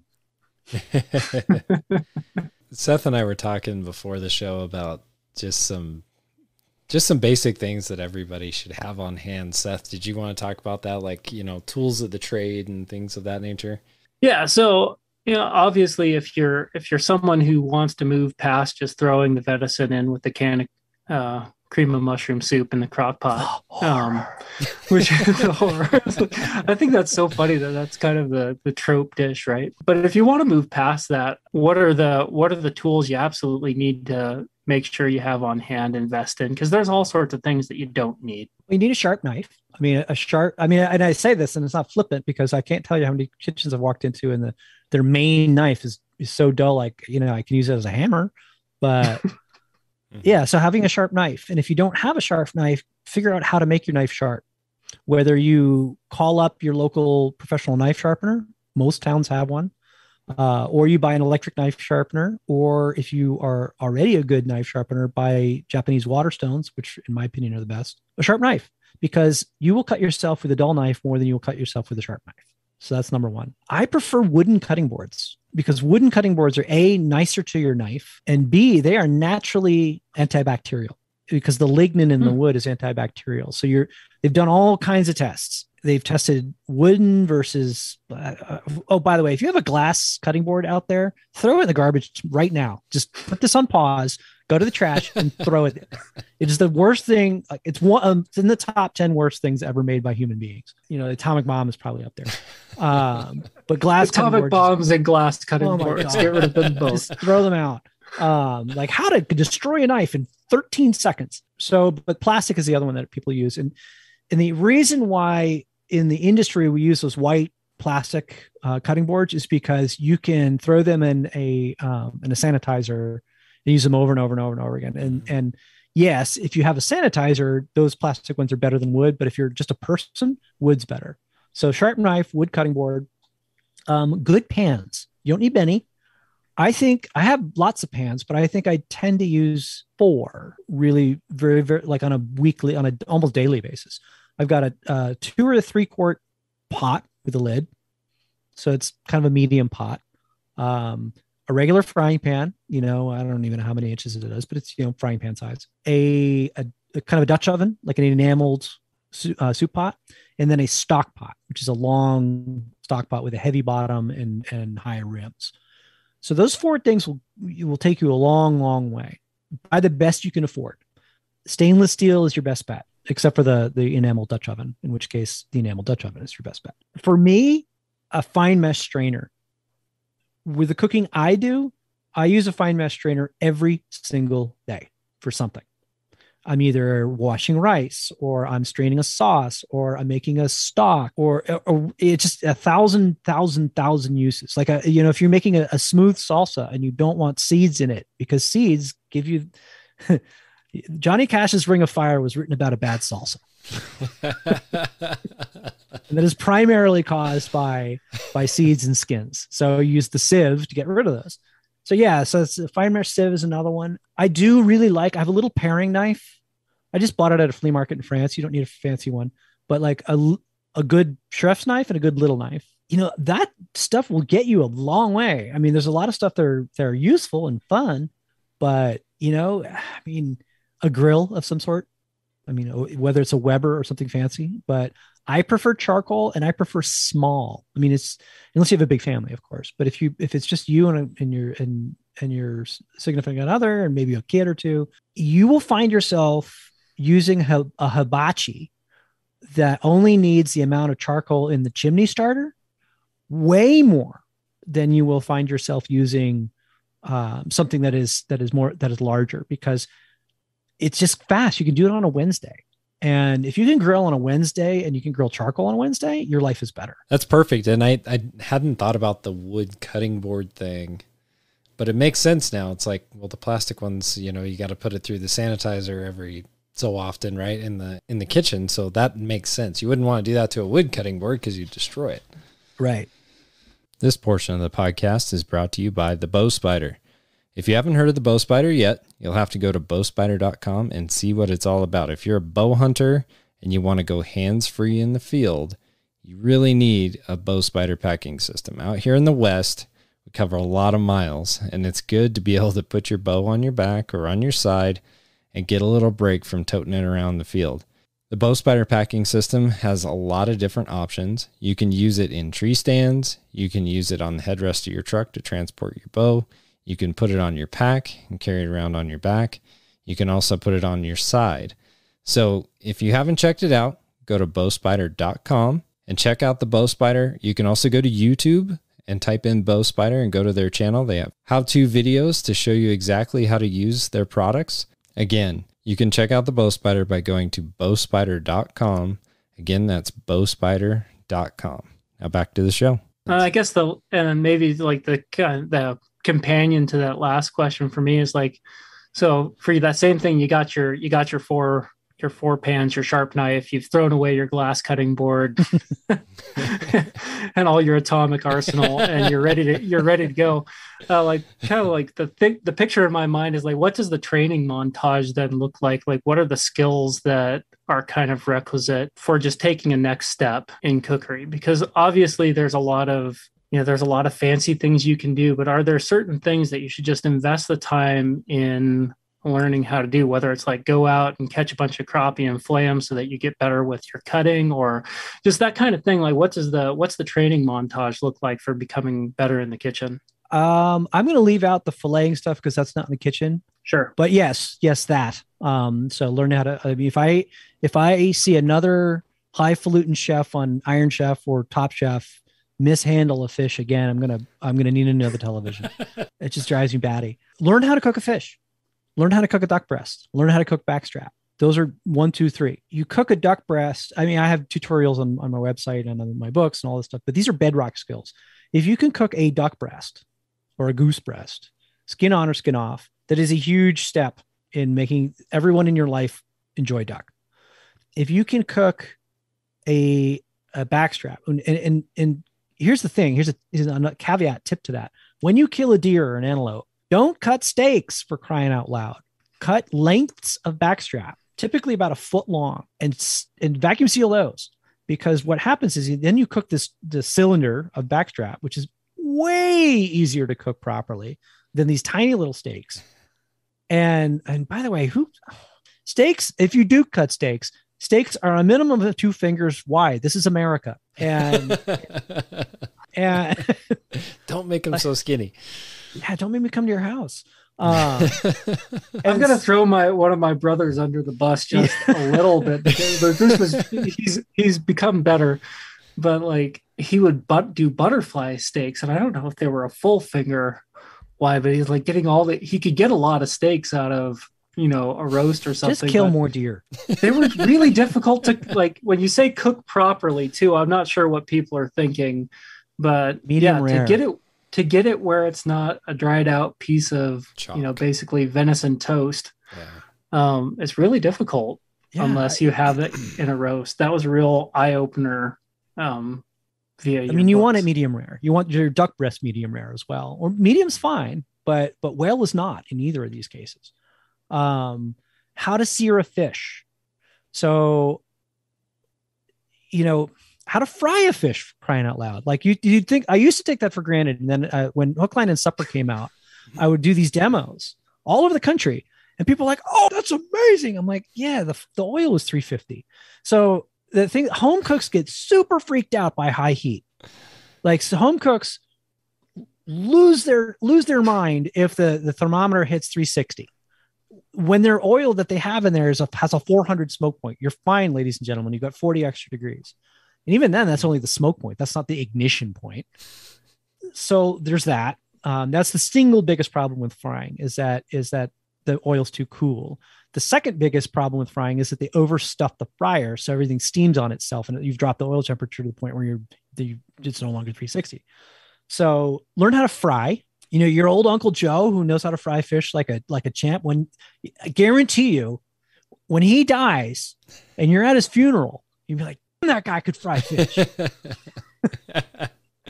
because it's it's an art and it's it's not everybody can do it. Uh, yes, it is you know the, but it's a it's a bedrock skill that any cook should have searing a fish it's a little bit less of a freshwater deal um, because you usually sear really nice pieces that are about a usually about two fingers thick which is not that common in freshwater fish but still that's another skill to learn how to make stock you know all these things that we kill you know i have i, I don't know how many quarts of pressure canned stock i have in my pantry but the idea of being able to pull a quart of pressure can squirrel stock from your pantry is kind of awesome. Just learn how to make stock. It's not hard. And then caveat to that, learn how to pressure can. Also not hard.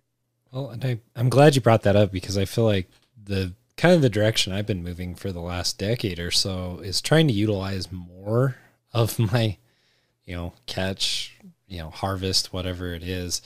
And I've started making different kinds of stocks that I would have never made, like walleye stock. You know, taking fish heads and bones and boiling them up, or you know, bones from the pigs that we raised, or beef bones, even you know, from a side of beef and venison bones. And like people are like, "Man, you you guys are crazy! Like you're going way far." And I'm like, "Have you tried this stuff? Because I mean, it's yeah. so good." And I don't know about anybody else out there, but it's not cheap to buy stock too. Like if you're buying a whole bunch of stock to make a recipe, it's like, man, you could have just made that at your house, you know, after you had your steaks, you know, let's say you had ribeyes or something, you can mm-hmm. keep those rib bones and make stock. I just did it to, you know, today.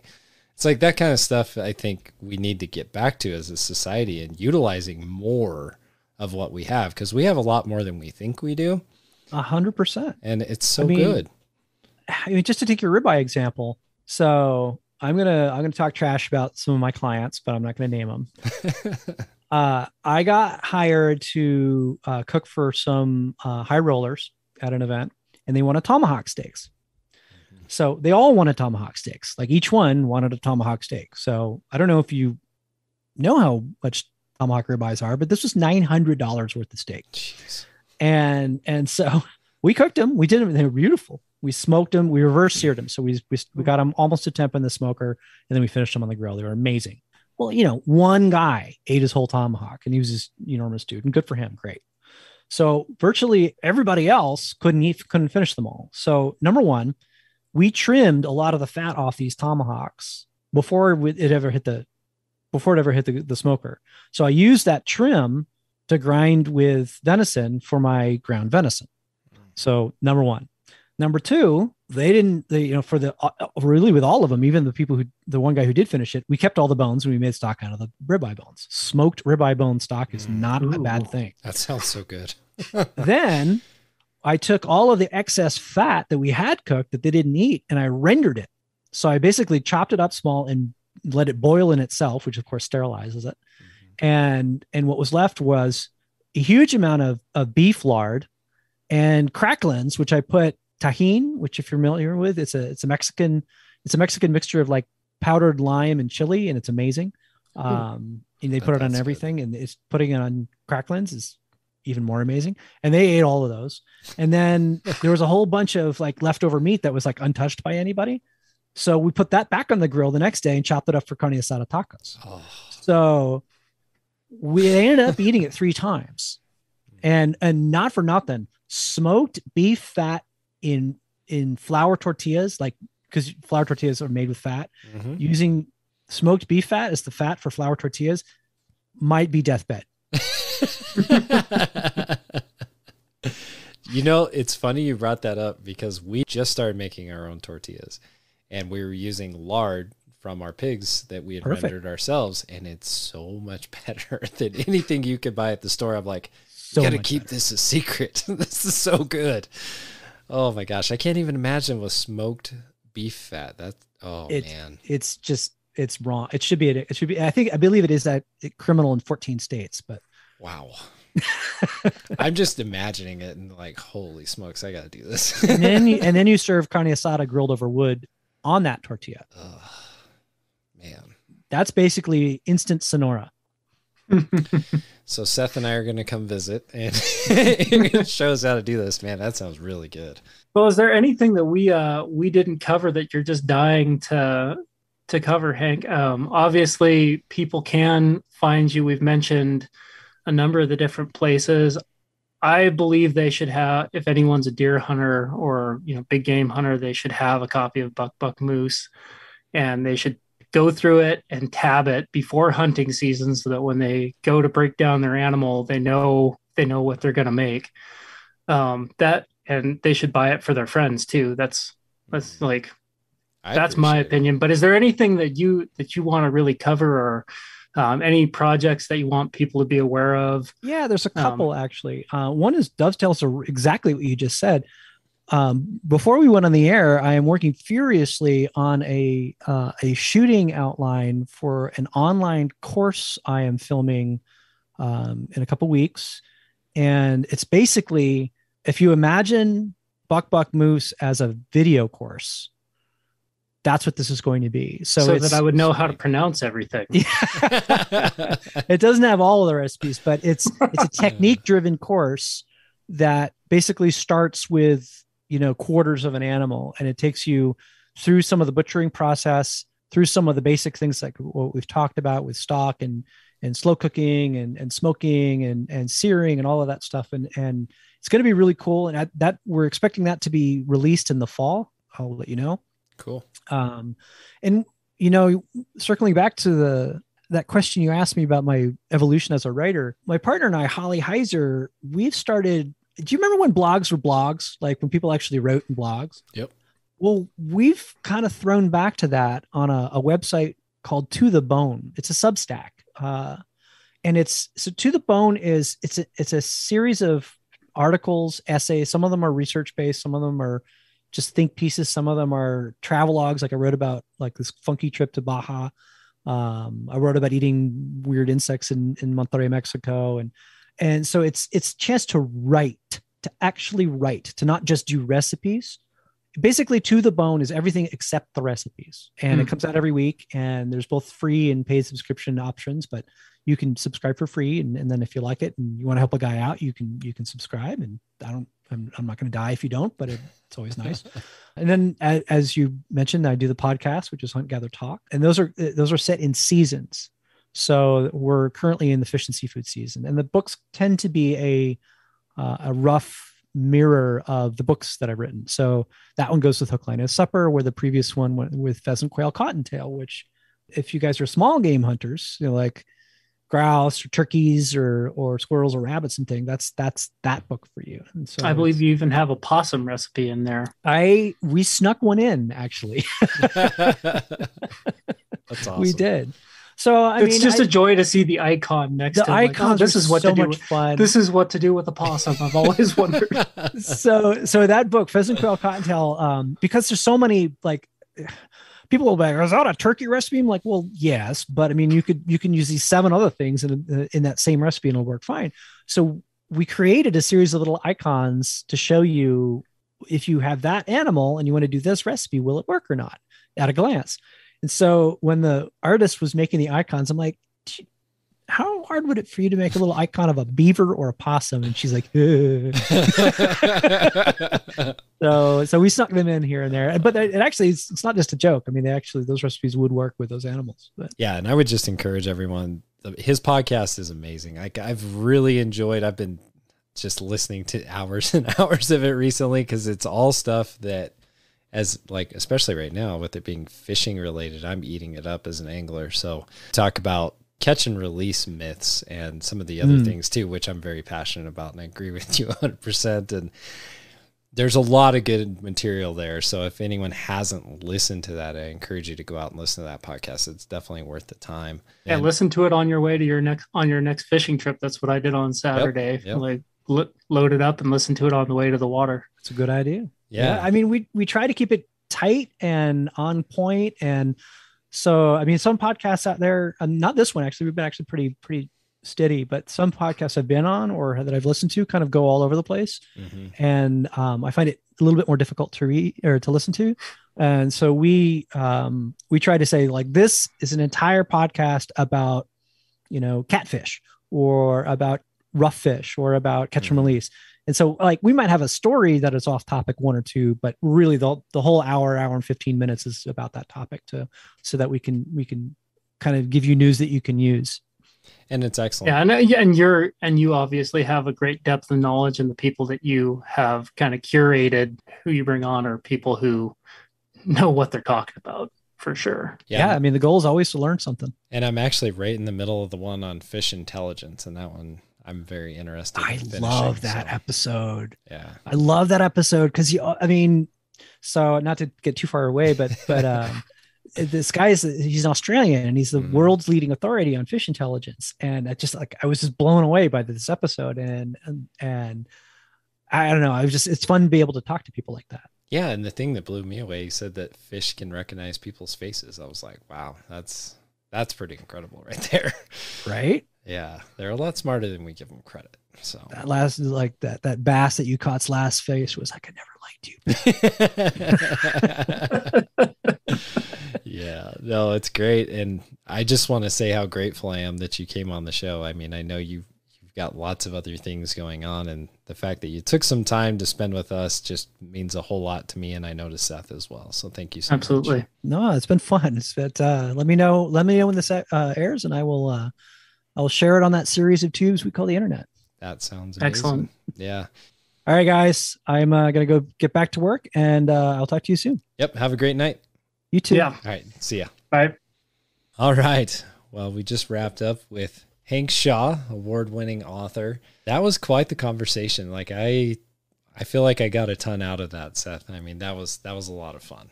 Yeah, I it's fun to to actually get to hear someone that you know like you're familiar with like either from the podcast and like get to ask your question. So that was a really a huge treat for me personally.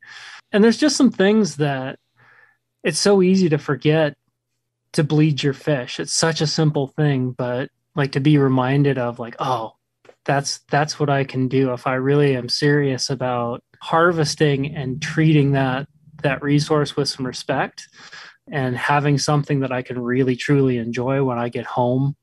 I mean, that's one of the things that uh, my wife and I, it's like Victoria and I love the fact that we get to eat like kings because of things like that, just taking better care of stuff in the field.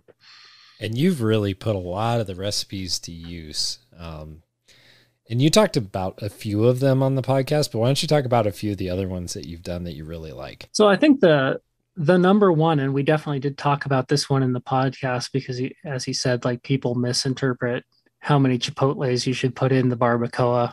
um, but the barbacoa recipe is one that's really special to me because, as I mentioned, like that memory of how tedious it was to try and turn shanks into into hamburger the way my family did it we didn't just grind things forever we would actually remove all of that connective tissue and it was super tedious. It's most of what I remember about butchering parties when I was a kid. Hated it. um, and the front shoulder and the neck too. And some of that meat, sad to say, like we would get a lot of it, but a lot of that stuff ended up as magpie food because of you know kind of the yield we would get once you actually once you get rid of the silver that that connective tissue, the silver skin. You've lost so much that you don't end up with very much. But boy, if you slow cook it, and that that barbacoa is just a really savory, delicious recipe. But all of that connective tissue that we were getting working so hard to get rid of melts in and just gives the meat a really rich, like almost buttery texture. And not only is it something you want to leave in, you want to leave it in because it adds so much. So do that with all of the shanks from deer the front shoulders from small deer and the necks. That's what we do with it. And absolutely love it because it's one of those dishes that we can like set it to go in the morning. You go off to work, and even on a weekday, you've got an amazing meal when you come home after work. So that's one that's really special to us. Yeah, my mouth's watering thinking about that because it is really good. It's it's nice to be able to set something up in the morning and come home and have a nice meal, especially when you've had a long day. Um, but I thought it was really, it was just kind of fun to pick his brain on, you know, just uh, some of the utensils, some of the things that are kind of a must have in the kitchen, you know, some basics. Um, and they all make a lot of sense, you know, when you start to zoom out and think about it, it's like, yeah, it makes sense that you need all those different things, especially if you're going to make, you know, a barbacoa, you're going to make a, you know, maybe a stock later or something like that, mm-hmm. having all those different things. And then, of course, about the wooden cutting board and the sharp knife, which a lot of people overlook in many areas, uh, whether it be fish filleting or, you know, just proper care for, you know, cutting up your, your meal and what you're going to prepare. So, um, I really enjoyed that uh, that was that was pretty fun. And of course, you know, saying you had to get rid of your glass cutting boards like your atomic bombs, that was pretty entertaining too. yeah, I think I think the thing that's been kind of an eye opening is you know i i grew up not doing a lot of the cooking you know as a as a kid and a teenager and didn't start becoming more serious about cooking until i was a single guy in my late 20s right. Um, and no one else was making food and i wanted to eat something a little better started getting a little more serious about not eating ramen or uh, spaghetti noodles all the time, right? Right. Um, but you kind of have this idea that you need all this fancy equipment or you need to know fancy techniques. And there's certainly a lot of room to grow. But just what he talked about, it doesn't actually take having that much, even if you don't have a huge budget, or like in my place, we have a tiny kitchen. Well, you have room for four pots and eight and two sharp knives and a cutting board. You don't need, you know, and the mesh strainer, and he mentioned some other things too, but it's really a pretty short list of things where you can get started and you can have super, super high quality food, stuff that you can enjoy and share with friends. I think that's a big part of it for me is you can have something that you don't have to apologize or make excuses for. You can say, I'm going to, I'm going to treat you to something special because I love you. Mm-hmm. Have some of this. Um, I really love that, that it's that simple to get started. I think another thing that just highlight in that too is in my family, we did basically two things with a deer that I can remember, maybe three. We would do some jerky, maybe, but everything else was steak and hamburger. That's what we did. We cut it into steaks. We cut it into hamburger. I, I may be misremembering because what do you know when you're when you're a kid? We may have done some roast, but that was the majority of it. And that's really eye opening that with venison, because of the lower fat content, you do not want to cut it into steaks first. You want to cook it in a roast. And even if you're going to eat it as a steak, cook it in a roast, then cut it into steaks. That's a game changer. Yeah, I think that that's that's huge. Just because you know, you and I have talked about this before. You have only so much of that animal to go around. And so the decisions you make during the processing stage have long lasting implications on how you're going to eat that meat. And I I do agree like just I growing up we butterfly staked everything or grounded or or whatever. And I do a lot more roasts now because I like slow cooking it and having all that connective tissue just kind of melt in tastes so much better to me. Um, I like to pull it apart, make tacos, make whatever I want, right? Like mm-hmm. it's just it's just so much better that way. But I thought the other thing that was kind of fun that we talked about is utilization because I, I think that's one of the things that we miss out on quite a bit is there's a lot more to an animal than we give it credit for. And it's best to utilize as much of that animal as possible. And Hank Shaw has some amazing pieces in his books and sections on making stock and utilizing as much of that as you possibly can. You know, he talked about tripe, he talked about a lot of things. Um, I think it's I think it's important and I think it's a lost skill. It's it's something that, you know, my grandma she used to make, you know, stock and pressure can it and throw it in the cupboard, you know, or there were lots of different things that she did. But I mean, she grew up during the Great Depression, so it's not really a huge surprise.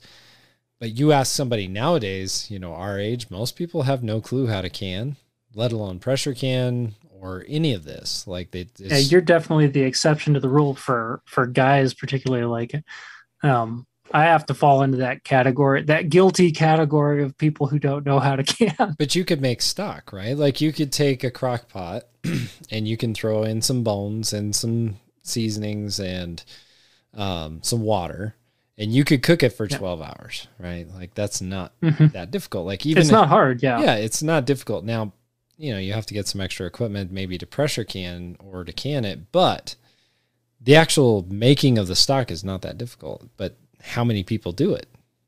I mean, it's it's a very small percentage of people actually take and make stock. And man, dude, he had my mind swimming when he was talking about making tortillas with some smoked beef fat. I'm gonna have to try that. That sounded really good.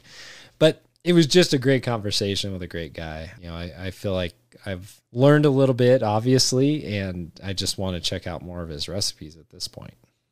Yeah, I I've looked like part of the problem for me in trying new new recipes out of some of the books is when you find a number that you love as much as you do, once you've tried 16, 17 different recipes, you kind of want to have those again and it's like hard to keep on branching out, but I'm I'm always almost always glad that uh that I did. I think the only thing I've had one time that I made a Hank Shaw recipe and I wasn't I wasn't in love with what I did and it was me.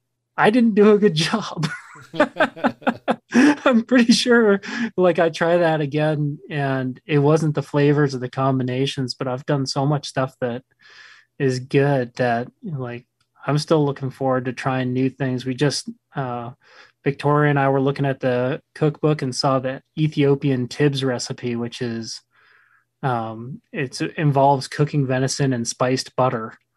And oh my gosh, I don't know how I haven't tried that yet. So uh, it's funny. Like one of the things that you know, I, I, I think it's come through pretty clear in the podcast that I'm a huge fan and that I can't give a high enough recommendation to get the hands on the book. But you know, I even had I had a dentist working on my fill in a cavity and the hygienist was talking about her boyfriend just turning the whole deer he was going to shoot into hamburger and i i was just absolutely dying because i'm like you're doing it wrong as soon as they got it. their hands out of my mouth they're like you need to buy this book yeah, don't don't don't do this don't do this horrible thing you're making can a so big better. mistake. You're doing spend spend the money get this book Mm. you'll thank me later um so yeah, Yeah. that was a real treat And on the fishing side, I would just encourage people to try some different things. I mean, there's a lot more you can do with fish than just batter and fry. So, um, if you want to expand your horizons and tickle your taste buds, you should check out that hook, line, and supper. And we should say it's a good read too. Like he Yeah. is uh, not everyone who knows a lot of things and is an expert or is an excellent chef is also a good writer. But Hank Shaw kind of ticks all the boxes. He's actually a good read. He's fun to read too, so you Cool. can't lose. Well, again, thank you guys for listening to this podcast. Seth, thank you for uh, filling in for David while he's out shooting at targets and selling bow spiders. But uh, it's been a true pleasure of mine to uh, co-host this with you. It's been a lot of fun. Yeah, absolutely. Thank you for having me. Yeah, absolutely. And so I hope all of you have enjoyed this. And I really, truly hope you go out and you check out Hank Shaw. You can Google him, you can go to his website. There's lots of different ways to find him. So until next time. Thanks again for listening to the Radcast Outdoors podcast. We hope that you've enjoyed the show. If so, please go to Apple Podcasts, Spotify, or wherever you're listening to this podcast and subscribe, share, and give us a five star rating, which really helps other people find the show. You can find all of our shows, recipes, giveaways, videos, and much more at radcastoutdoors.com. While you're there, please help support the show by purchasing a Radcast Outdoors shirt or hat. Please don't forget to follow us on Facebook and Instagram. We also have a Radcast community on Facebook called Radcast Nation, and we'd love for you to join in the conversation there. And of course, please help support our sponsors who make this show possible. Thank you again to PK Lures, Bow Spider, and Hi Mountain Seasonings. Until next time, get out there and enjoy the outdoors.